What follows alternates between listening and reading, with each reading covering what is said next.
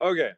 So um probably time to go ahead and get started. So yeah, um I guess Alvaro will be here after Christelle's talk, so um it's up to me to mess up the recordings before Alvaro gets here. Um no. Um so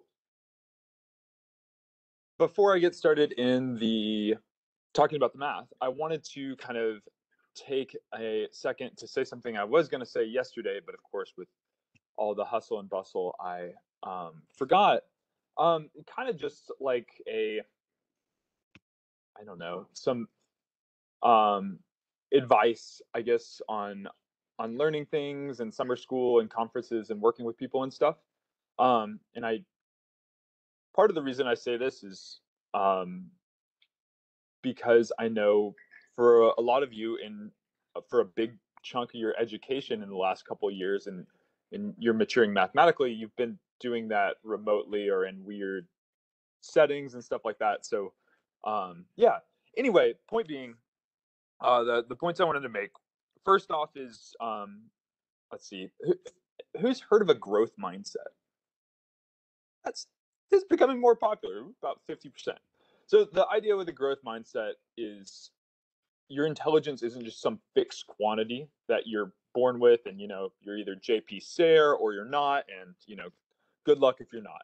Um, that's not kind of how things work out. Certainly some people are are a little more naturally talented than other people, but intelligence is not this fixed quantity, especially with respect to math. And I y'all may have noticed in your own personal mathematics learning, I certainly have in my learning that you get better not just at doing things you already understand, but you actually get better at learning mathematics and better at understanding concepts and better at making connections. And so I encourage you to be patient with yourselves and not get down on yourself. I know it's super easy. I've definitely been to conferences where I'm like, I'm the dumbest one here. Everyone here is like so brilliant and I like can barely connect, you know, I don't know, things. Um so I encourage y'all to have a growth mindset and really be patient with yourselves. Um, in a similar vein, I really just um, I I I encourage y'all to kind of be patient with each other and be um,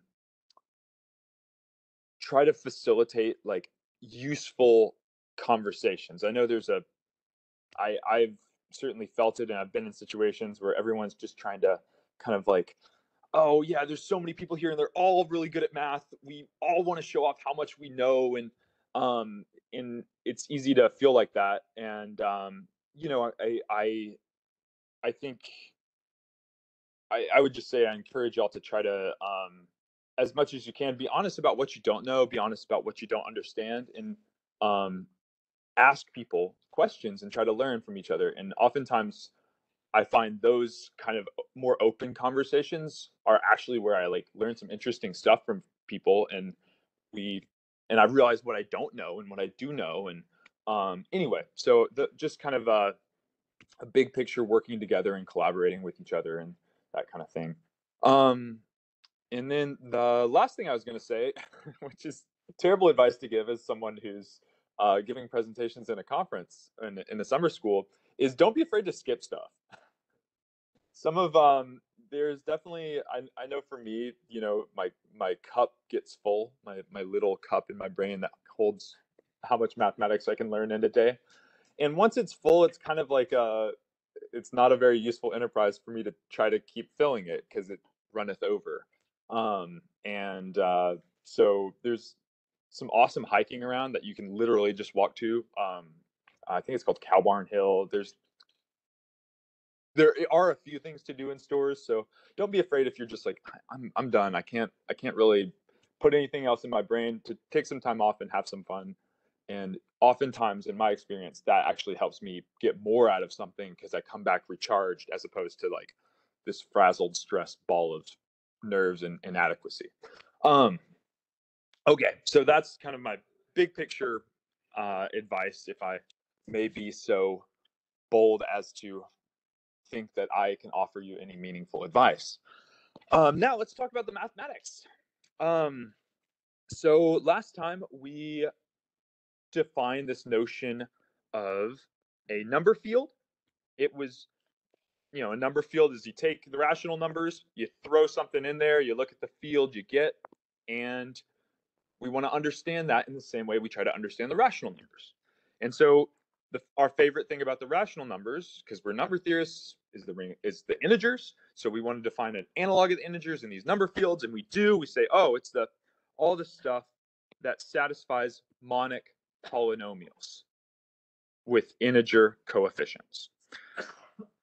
Okay, and then we computed some some integers, and then we talked a little bit about what can happen to primes, and we're going to talk a lot more about that today.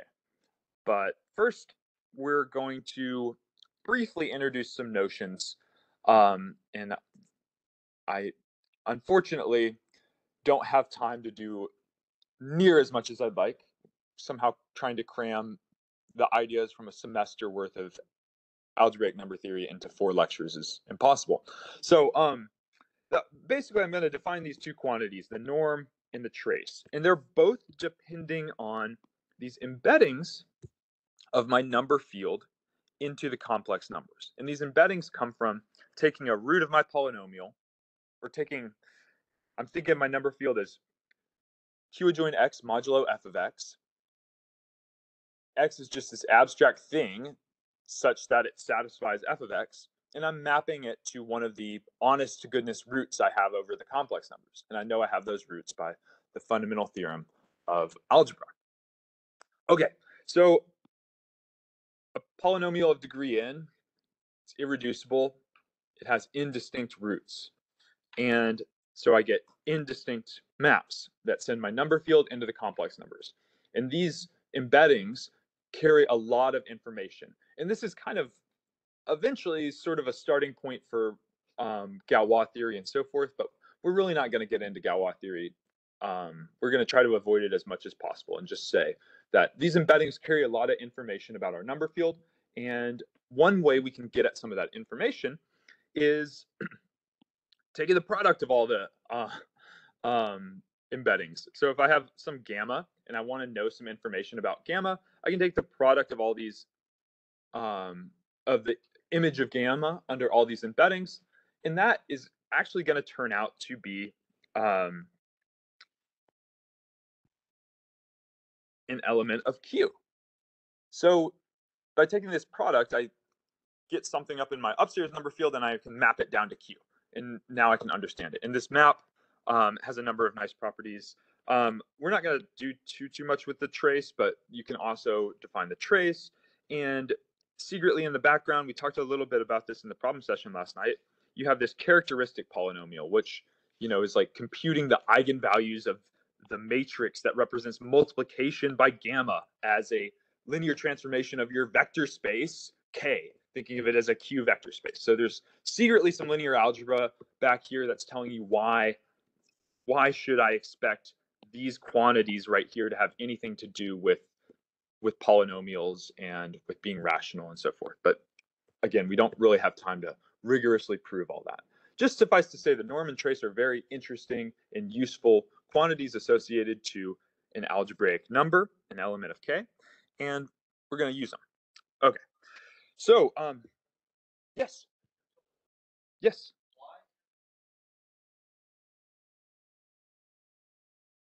Mm. Um, here's the glib answer. um, is K is a Q vector space, right? K is I can think of K as this n-dimensional Q vector space. And um,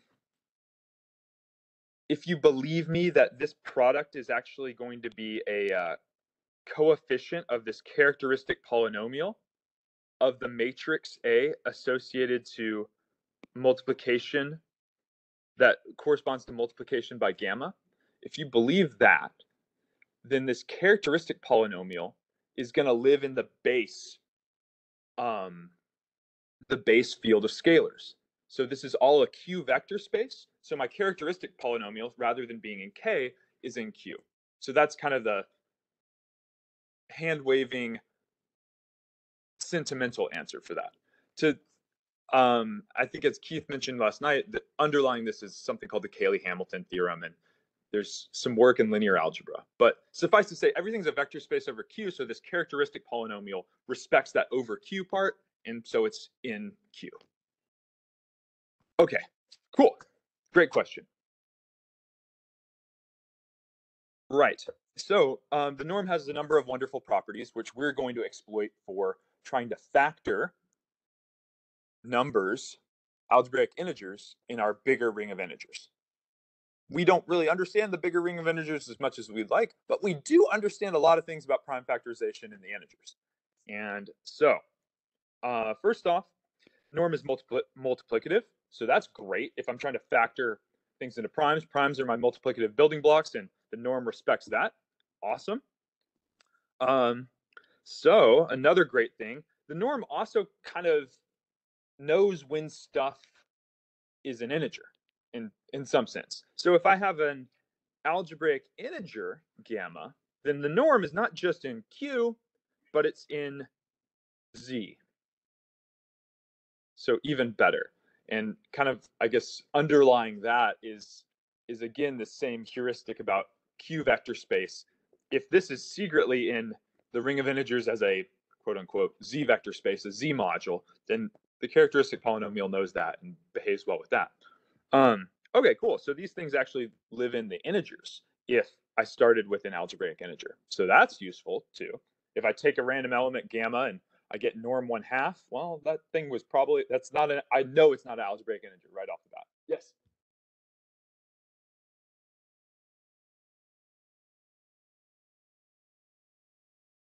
Yeah, yeah, yeah. You can. So if we were really going to go into this, that's an excellent point. You know, you can think of elementary symmetric polynomials and and do work through through that vein as well. Um, so excellent point. Um, but as you can see, I'm stating these as facts. So I am very explicitly not trying to get into the reads and prove things since I only have about 35 minutes left.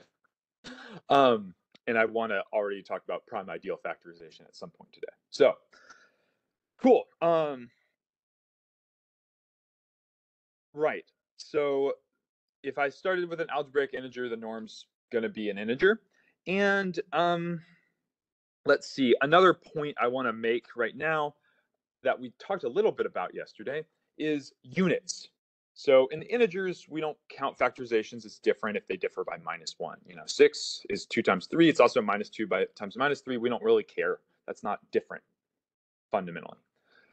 As we've learned though, with thinking about like the Gaussian integers, there's new units. So there's new things to live in your factorization and, and make it look different to a human looking at it, but not make it actually different in terms of what the prime elements appearing in your factorization are. So for example, um, z adjoined i has units uh, 1, minus 1, i, and um, minus i. That, that is a crappy minus i.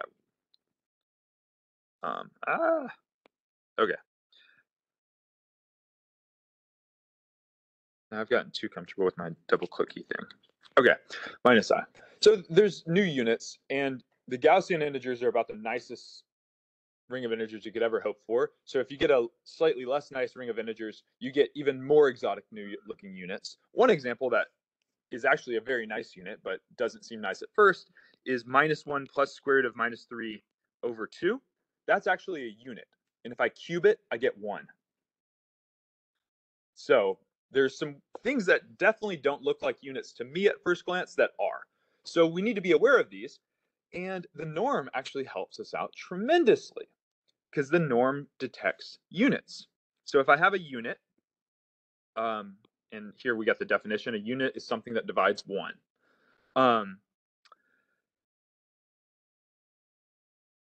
I have a unit if and only if its norm is plus or minus one. So the norm picks out these units, and that's great. Okay. So here, um, I think I put this up when I posted these last night. um, here's an example of how we can use the norm to help us with um, with prime factorization. So um, I think in the interest of time, I'm just going to walk through this argument right here. Um, I guess I could also talk about like factoring this. Turns out that 181 is prime. Um, so maybe maybe we'll just do that. We'll just we'll just do an honest to goodness example, and y'all can look at the um, the blue text here on your own time if you if you like. So I want to show that um, I want to show, and then also I encourage you to look at the the claims we made in um, up here and see if we can figure these out. Maybe I don't know. What do y'all want to do? You all want to do one of these in question 1.6, or should we do that um, other one down down below?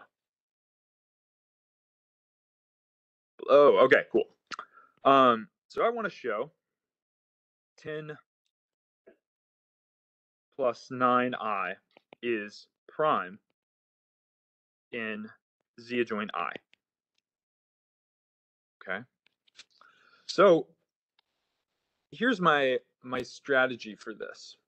I'm going to take the norm. Norm. And oftentimes I'll drop this subscript right here if it's clear what I'm talking about, but just to, to write it out, this is the norm relative to Q adjoined I over Q. If I extended my field even further, it would have more embeddings into C, and so the norm would change, right? But um, so I have this, and I want 10 plus 9i. Okay, and so the first embedding of this into C is just 10 plus 9i. Okay, great. And if I'm thinking of i as x, right, I got 10 plus 9x, where x is a root to x squared plus 1. What is the other place I, I can send x? I sent x to i. Minus i is the other root that I can send it to.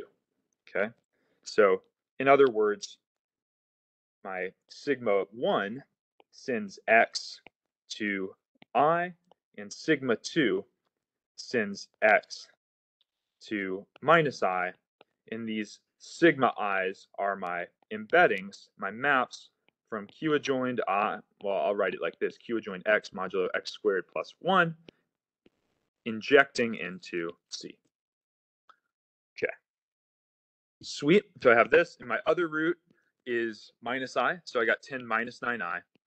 And then I multiply those out, and I get 100 minus plus 81 equals 181. Okay. And so the fact, or you, we could compute um, whatever the square root of 181 is and figure it out. It's not divisible by 2 or 3 or 5, so it's probably prime, right? Um, so fact, um, 181 is a, a prime of z.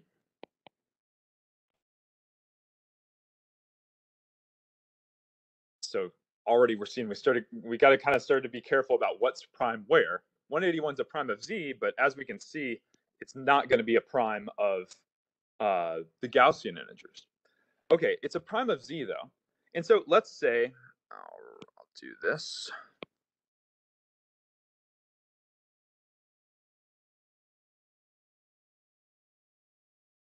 Suppose, so if if 10 plus 9i isn't prime, there exists a factorization gamma delta, say, where neither gamma nor delta are units, right? Obviously, I could say 10 plus 9i is you know 10 plus 9i times i times minus i or something like that that doesn't really um, that's not a different factorization. Okay um, where gamma and delta are not units. Okay in this setup so that that that means that's an if and only if the norm of of gamma is not equal to 1, and the norm of delta is not equal to, well, plus or minus 1. It's also not equal to 1. Okay, so they're non-units. So if I have such a factorization, we have that norm, remember norm is multiplicative. So norm of gamma times norm of delta equals norm of 10 plus 9i equals 181. This is an equation in Z. It's not just an equation, it's a non-trivial factorization of 181 in the integers.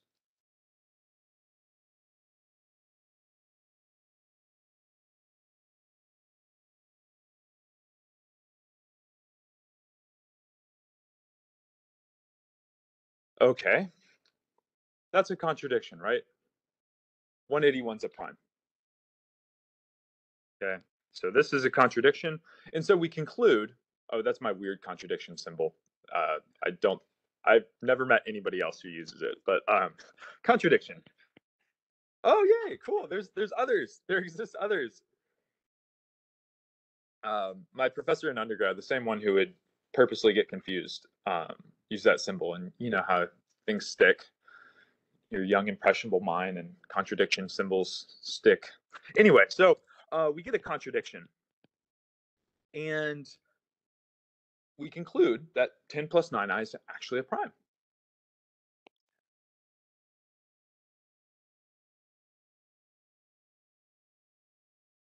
And kind of, if you want a little bit of a geometric way of looking at what's going on, I don't want to talk about schemes, but um, uh, down here we got 181, you know, and that's a, a nice um, that's like a point of the integers because it's a prime. That's that's a, a, a, like part of the integers, part of how the integers are built multiplicatively. And so this is down here in Z, and then up in Z adjoined I, the Gaussian integers, that point breaks into two new points. We get 10 plus 9i and 10 minus 9i, right? The same argument we used to show 10 plus 9i as prime is also going to work for 10 minus 9i, right? Okay, cool. So that's we kind of are um, we get a little bit of a picture in in um, what's going on. And there's a degree two extension, and my prime split into two. And and so we're going to try to today start to get a feel for what's going on when primes don't split, when they stay inert, and when primes ramify, and try to see what we should expect to happen with primes. Okay. Um, at this point, are there any questions?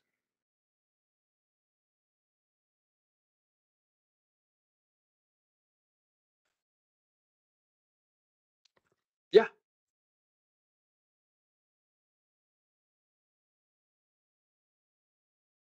Um, yeah, so maybe it would have been better to start with thinking about um rather than thinking about this, thinking about 10 plus 9x, where x squared plus 1 equals 0. And then sigma 1 maps x to i, because sigma has to take x to a root of x squared plus 1. Otherwise, it's it's not going to be an injection. Things are going to fall apart and everything's going to collapse, right? If x squared is supposed to be 1 and I took x to a to third root of 2, then I'm I'm in trouble. Um, so I got to send x to a root of this polynomial x squared plus 1. There's two roots as as we know, i and minus i. Those are the, the roots of x squared plus 1. So I'll send, I'll define these, these um, homomorphisms from, from this number field into C. I'll send Q to Q. Q lives in C, so I send Q to Q. And now all I need to figure out is where to send X. And so I can send X to I. That's a perfectly reasonable homomorphism. And, you know, we, most of the time when we're thinking about this number field, we just think of X as identified with I. Or I can send it to the other root. So I can send x to minus i. And everything still works out because x squared is equal to minus 1. And so um, once I have that, then my norm is just applying this is sigma, sigma 1 of 10 plus 9x, and this is sigma 2 of 10 plus 9x? Good question.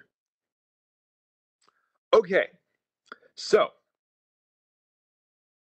um, prepare yourselves for disappointment. I guess you should always be prepared for disappointment, but um, prepare for some some deep disappointment. Traumatizing. Unique factorization into primes is the best thing ever. It's absolutely awesome. And so far, the rings of integers we've met have unique factorizations into primes. Unique factorization into prime. No, you know, they're primes and these new rings of integers, but still unique factorizations into primes. Um, unfortunately, it it doesn't always work like that. Not all number rings have unique factorization. And here's the classic example of that. This is the ring of integers of q adjoin the square root of minus 5. Right? 5 minus 5 is congruent to 3 mod 4. So the ring of integers is just square root of minus 5 as we've as we've determined. Um, okay. And so I have these these two different factorizations of 6 right here. And these look pretty different. Maybe these things decompose further. And if they decompose further, everything works out and I get unique factorization into prime elements. But the exercise here, the example disguised as an exercise or exercise disguised as an example, is to show this doesn't work out. And so my, my hint here would be like use norms. And, um, you know, the norm of a plus b square root of minus 5 is going to be equal to a squared plus 5b squared. And if I know that equals a um, equals a uh, positive integer, I can kind of bound what a and b can be, right? And so anyway, that's the hint for the exercise. But suffice to say, unique factorization fails. And so Kummer realized this. And you know, I I would have sobbed to myself in a corner. Maybe Kummer did, but then he tried to salvage some of the ideas behind prime factorization for these new number rings. I mean, these number rings kind of they seem really nice. Everything's a root of a nice monic polynomial with integer coefficients. Maybe we can do something to rectify this egregious, unjust situation where we don't have unique factorization into primes. My favorite open problem in number theory, and this is like an absolutely frustrating open problem, is it's unknown whether there are infinitely many number rings of say degree less than 2022 but pick your favorite favorite positive integer with unique factorization. It's believed that 70% of just real quadratics, taking a, a, square root of a positive number, it's believed about 70% of those are going to actually have um, unique factorization. Oh, it's an open problem. So isn't that so frustrating? Our favorite thing about the integers, we don't even know if infinitely many of these puppies have it, but um, they, they, they really should, but it's, it's an open problem. Um, okay, so how are we going to fix this? Um, so a tangent on roots of unity in the unit circle. I would love to go on this tangent, but I will. Um, I definitely don't have time. Um, suffice to say, though, if you'd like to look for kind of a, a little justification of why we built all this stuff and what it might actually be helpful for, here's here's a little example, and I will just briefly kind of detail this example, we can we can take this number field where we have a fifth root of unity. We're trying to solve Fermat's last theorem for the exponent 5. And now we can factor the left-hand side. And it turns out z adjoined a fifth root of unity is the ring of integers, and it has unique factorization. So all my favorite techniques I use from the integers when I'm factoring things and looking at modulo primes and stuff like that, all that works here. So here's a we can see a benefit of all this structure we've started to build up is if I'm interested in solving Diophantine equations, say solving problems like this, I can bring to bear a lot of the powerful tools I, I use from Z, but with some extra um, with with other nice properties that these new rings of integers let me have, like factoring the left hand side of the Fermat equation. So that's an example of why someone would bother with all this machinery and stuff like this. Also, it's just it's the right thing to do, and it works for it. Everything work. Everything you'd hope to. Anyway, I'll stop rambling. Whatever. Uh, this is some vague justification and a little bit of a sketch. And um, Marcus is a great book, and Borevich and Shafarevich is out of print. You can find a PDF online. It's it's got some stuff in it that other books don't have. I really, uh, I think it's it's quite nice um, for for some materials. Okay, um, so at this point, should we go ahead and rectify? See if we can make up for the fact we no longer have a unique factorization into primes. We're gonna have to do some definitions though. We gotta we gotta do some work, and um, thankfully Kummer and Dedekind and really um, the generalization of all this is is due to Emmy Noether. Um, they put in this um, this work so so that we can kind of recover the some of the best things about prime factorization. Okay, so if you've seen abstract algebra before, you might have heard of the notion of an ideal. So what an ideal is, is an additively closed subset of my ring. I have a ring, I have an additively closed subset, um, and it has this, what I like to call the multiplicative sucking property. So if I take an element i of my ideal, and I take an element r of my ring, and I multiply i by r, it sucks it into the ideal. So IR becomes part of the ideal. Um, yeah, IR and I for every I and I and R and R. Okay, that's an ideal. Um, I mean, these are kind of like the right thing to think about with rings in some sense. They're like a thing you can mod out by. Um, they kind of help you break your ring apart. Um, and the name comes from ideal numbers. So, so this was kind of Kummer's idea where he wanted to you know you can't just do it with numbers but maybe you you can have this like they they really kind of sort of behave like numbers and you can get a lot of nice properties. So that's what's up with these ideals. Um and here's the punchline of all this because i know it's it is traumatic thinking about unique factorization failing so i want to give y'all some some comfort here. Um the punchline is that every proper non-zero ideal in okay as a ring, this ring of integers factors uniquely into prime ideals.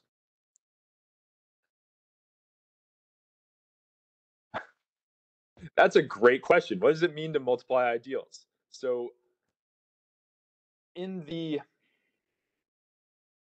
we will answer that in more detail, but kind of my my glib response would be you're just thinking about these as like kind of having a lot of the properties of numbers but not quite and their product is is like the product of numbers like the product of integers. Um, and in the case where you're working with the integers or where you're working with a place with unique factorization this statement is is not any different than every integer factors uniquely into a product of primes. So um,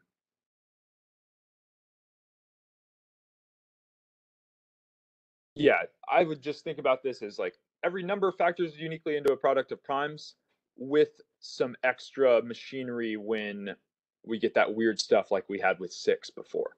So we'll we'll work through it.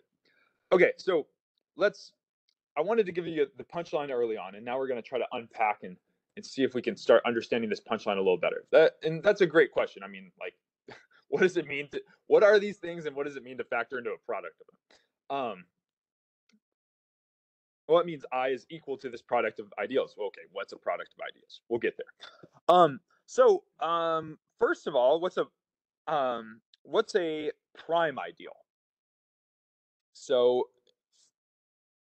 one definition for a prime number is p is prime if whenever p divides a product, p divides one of the factors of the product. Right? If p divides ab, then either p divides a or p divides b. You could say the same thing with a proper ideal. If whenever a product of two numbers is in an in is in that ideal, either one alpha's in that ideal or beta's in that ideal. So I can't get two numbers that aren't in the ideal, multiply them together, and pop into the ideal. So the mantra here is to contain is to divide. So P contains AB, um, P divides AB.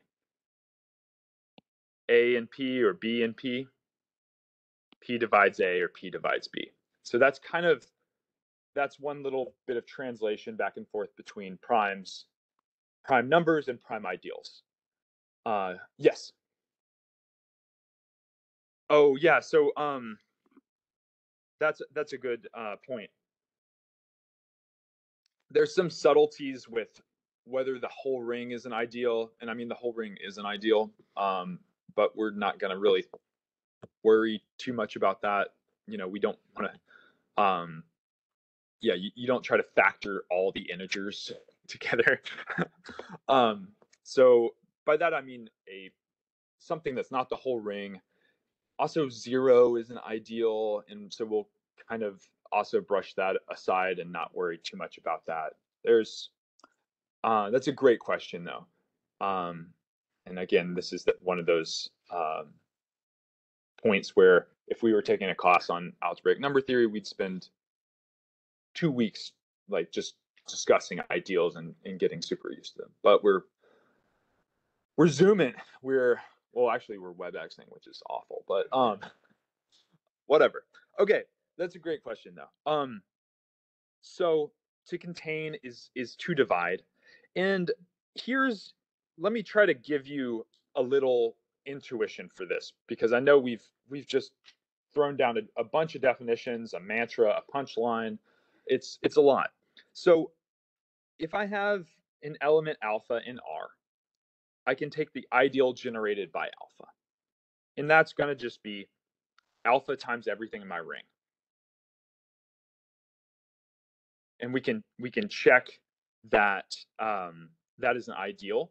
It's additively closed. If I um, another way of writing this too, I, I just want to say is also alpha r, just alpha next to r, which makes sense. Taking every element of r and multiplying it by alpha. We can check it's additively closed. If I have alpha R naught plus alpha R1, um, that's equal to alpha R naught plus R1. Well, R naught plus R1 is a perfectly good element of R, so that's in the ideal.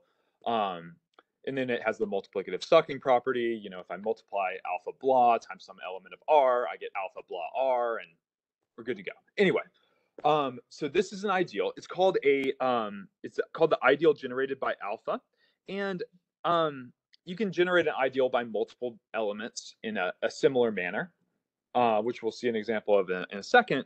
But um, if an ideal is generated by a single element, we say it's principal.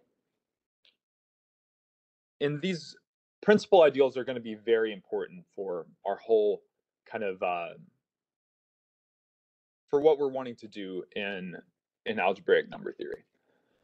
So just to kind of get our feet on slightly more solid ground, let's figure out what's going on here with the integers. So, what are the principal ideals of Z?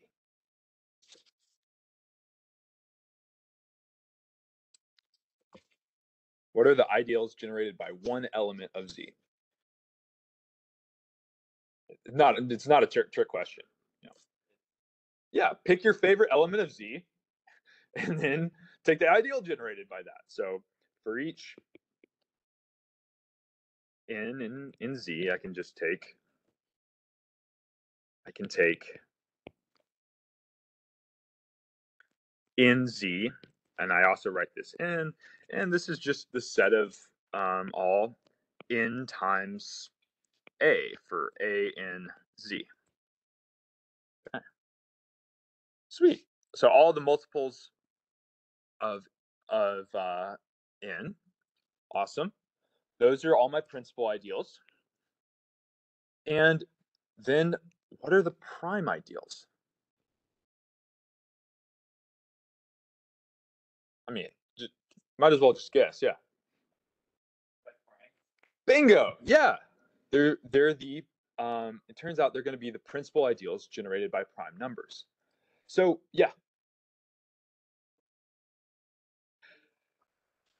Yes, the zero ideal is technically a uh, a prime of z because if we quotient by the zero ideal, we we have z and that's a domain. Um and so that's that's like that like excellent side case that was brought up earlier. It's like the whole ring z is technically an ideal, right?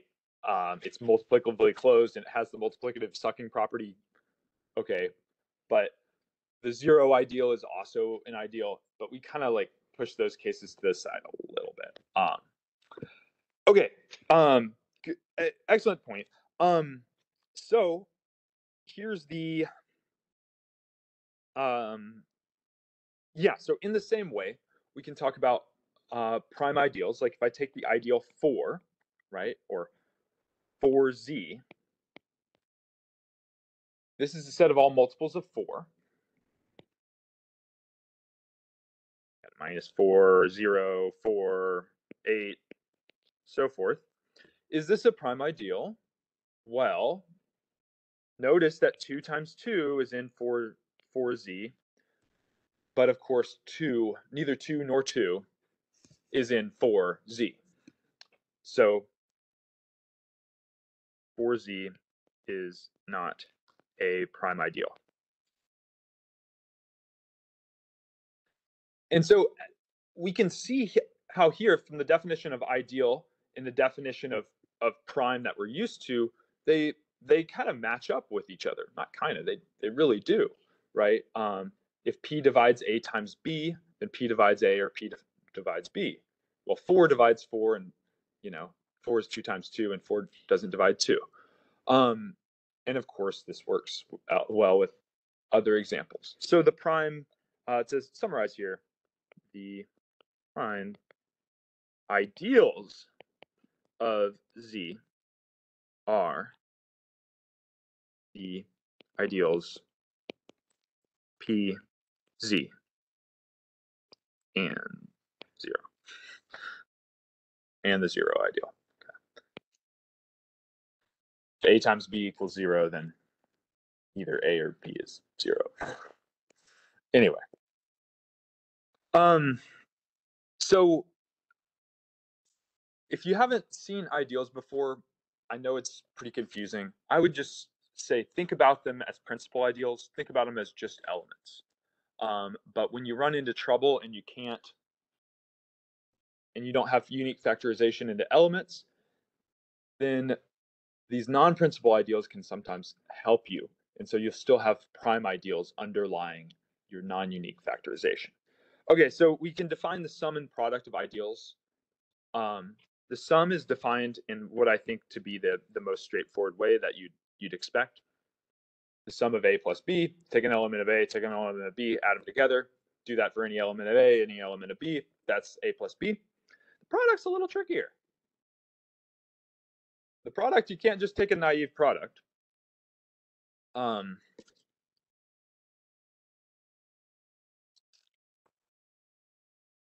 and yeah, I guess the um, uh, what's the um, idea here? I'm I'm gonna mess up the my um,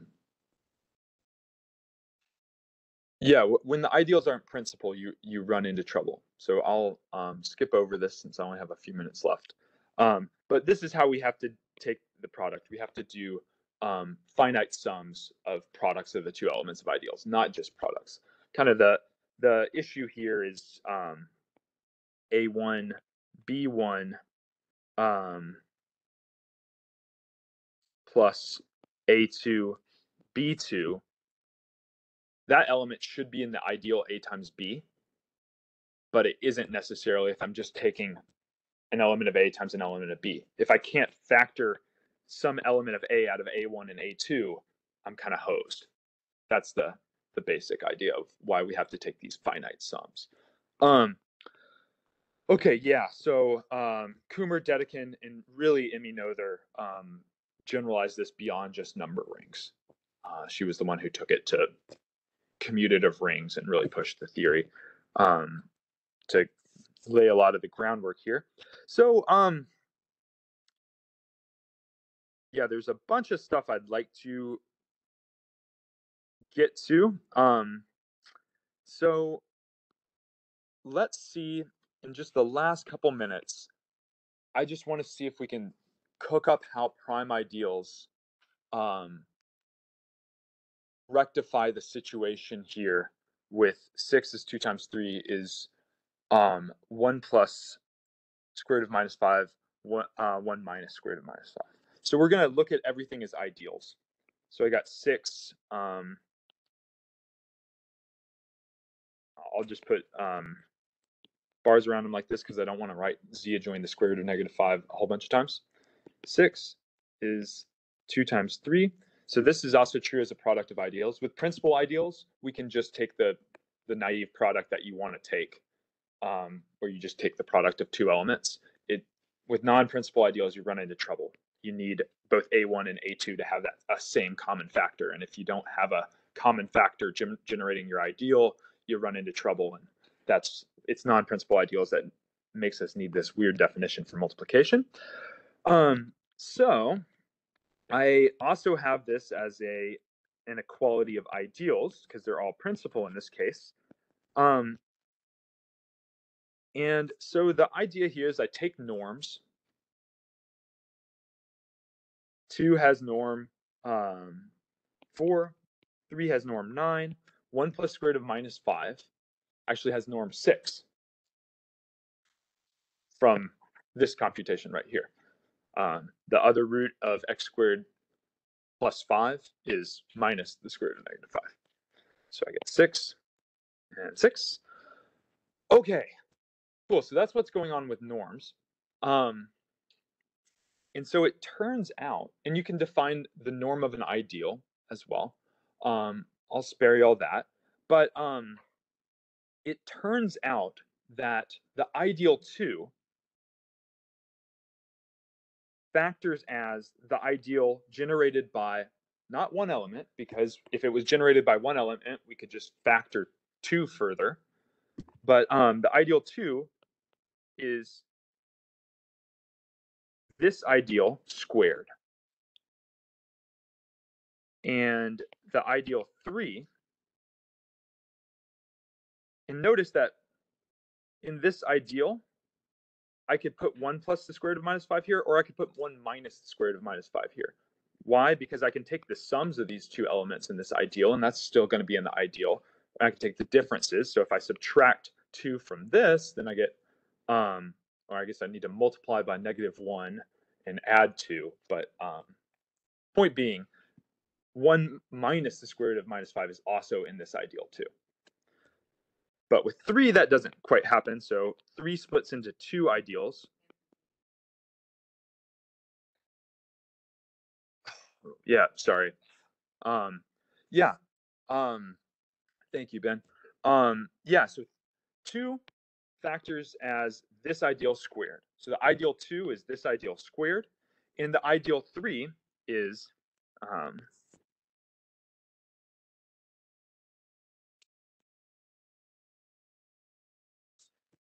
this product of two ideals right here. And so now, um, and uh, let's see, these puppies right here um, turn into 2, 1 plus the square root of minus 5 times 3, 1 plus the square root of minus, or 1, these should be minuses. This should be a minus. Sorry, I'll finish up here. I know I'm going a little over. That's what this ideal and this ideal right here factors into 2, 1 plus the square root of minus 5 times 3, 1 plus the square root of minus 5, right there. Now, as ideals, we can see that these factorizations are in fact the same. Here I have two of the ideal, two, one plus the square root of minus five, this ideal, and this ideal.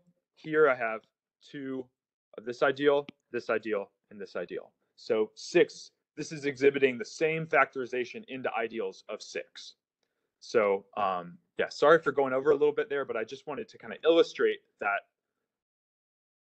this ideal notion saves the day. Unfortunately, these aren't principal. They're not generated by one element. If they were, I could just have a nice factorization into primes of six, but they're pretty reasonable ideals. You know, they're generated by two elements. And in, fact, that's a fact for Dedekind domains that you can always, I'll, I'll stop rambling and I'll stop and ask for questions if there are any questions at this point.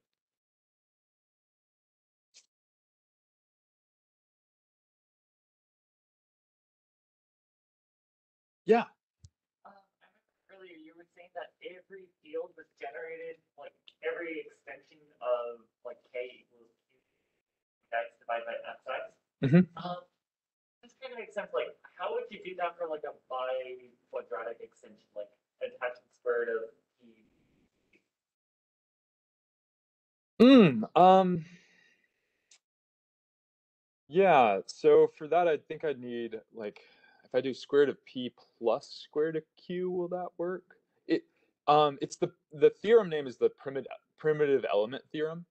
Um and yeah, off the top of my head, I I can't remember how the the uh the proof goes. Um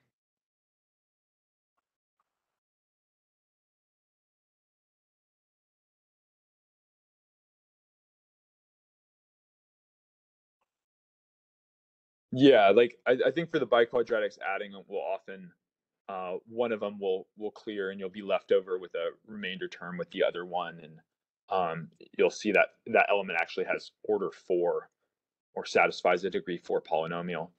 But the the idea with that is if, if you're throwing in a bunch of square roots, say a bunch of different square roots, you just need to cook up an element that satisfies a big enough degree polynomial, and um, I guess the primitive element theorem says there will be one. It, it's, um, yeah, sorry, I can't remember how to prove it off the top of my head.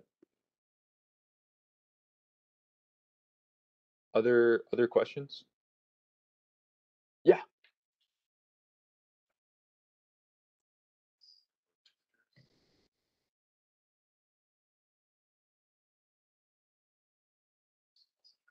Um.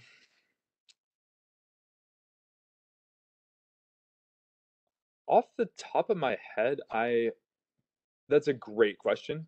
Um, I can't remember a counterexample, but I'm I'm uh I'm skeptical you couldn't have something like uh like cook up a polynomial x cubed plus x squared minus a half x plus 7 throw that into the rationals that'll be a nice degree 3 extension of the rationals its norm and trace will both be nice integers but that one half there in order to make that polynomial an integer polynomial i'd have to clear denominators and it's no longer monic so that's a great question was that what you were gonna? No. Ah, yeah. Okay, there you go. It's true for quadratics because those are the only two coefficients you gotta gotta worry about. Yeah.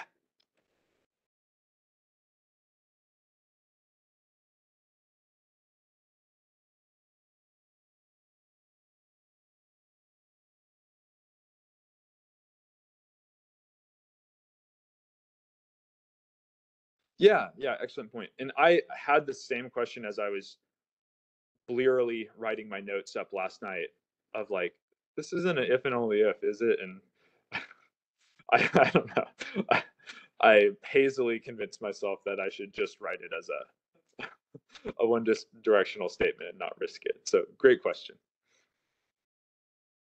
Yeah.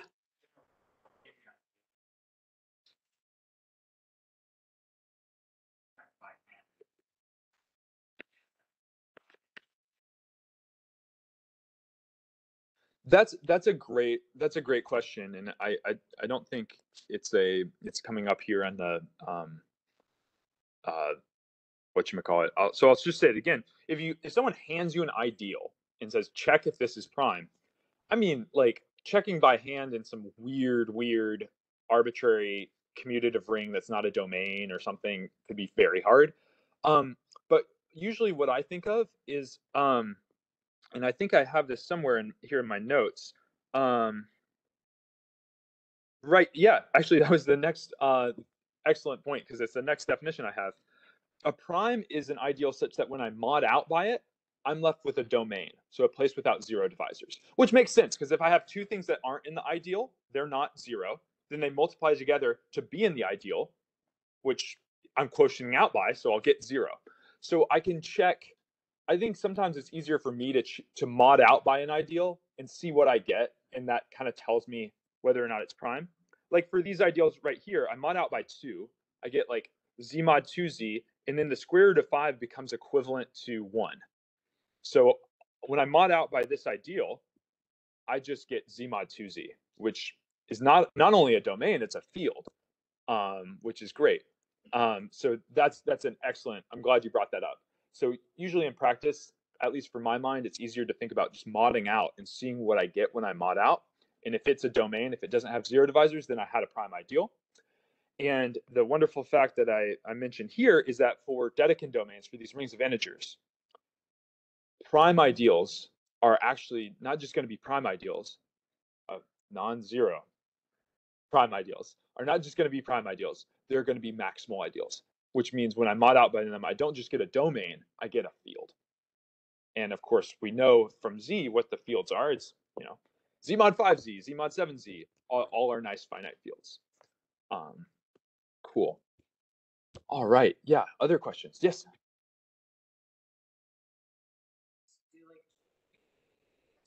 Do they end up being like conjugates of some sort? Um yeah, so that's a um no, so that that's that's a great question. And um in the case of quadratics, oh yeah. So um the if I'm if I'm uh repeating it right, it's it's kind of like what's up with the oh no um, it's kind of like what's up with the conjugateness here and the fact that like here it seemed to be just the fact that one plus square root of minus five and one minus the square root of minus five differed by two when, when really or you know i could have i could have written this maybe like two one plus square root of minus five two one minus square root of minus five. But then notice those ideals are actually the same ideal. What's going on and that's an excellent thing to notice. And the the idea here is um,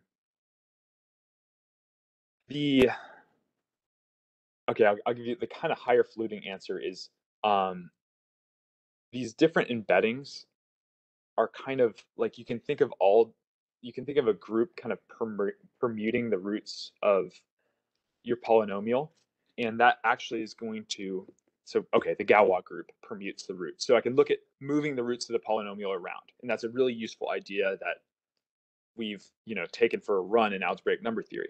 And when I move those roots around, it fixes Q. You know, so I can look at the automorphisms of K that fix Q. Because I want to fix Q. I don't want to mess with Q and Z. So if I'm moving the roots of, around and I have Q and Z fixed, then it'll move the prime ideals upstairs around but it'll leave the downstairs prime fixed. So the thing, excellent, excellent, excellent point. The thing to notice here is sending square root of minus five to minus square root of minus five. Those that flips these ideals around, but it it doesn't flip three around because of course I, I wouldn't want to flip the integer. I wouldn't want to move the integers around. I just want to move the upstairs stuff around. That's what Galois theory is, is moving the upstairs stuff around and fixing the base and then you know see, you can kind of sift out by seeing what moves around and what doesn't move around. That is the most ridiculous explanation of Galois theory ever. Okay i think i've gone 10 minutes over now um, but that's a great point and it's no coincidence that those things are conjugate. Okay. Yeah okay